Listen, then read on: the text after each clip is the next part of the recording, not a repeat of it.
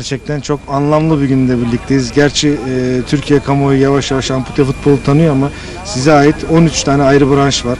Bedensel Engeller Spor Feder- Federasyonu Başkanı Demirhan Şerefan'la birlikteyiz. Neler hissediyorsunuz? Gerçekten çok önemli bir gün sanırım. Ee, Bugün gerçekten bu spor e, adına çok önemli bir e, olay yaşıyoruz. Çok güzel bir organizasyon.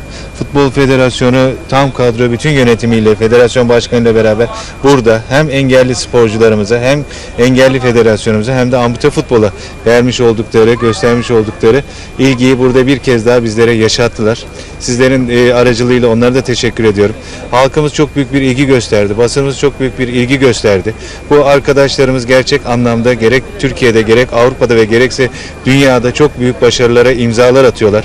Ülkemizde 8,5 milyon engelli var. Biz hepsi için spor yaptırma arzusu içindeyiz. Hepsini evlerinden çıkartma arzusu içindeyiz. Önce rehabilitasyon sonra elit sporcu yetiştirmek için e, her türlü organizasyonu yapıyoruz. Her türlü imkanımızı seferber ediyoruz. Sizlere de çok teşekkür ediyorum. Hüseyin Elver bizden işaret bekliyor. İsterseniz birlikte verelim işaretini. Maçı başlatalım. Teşekkürler.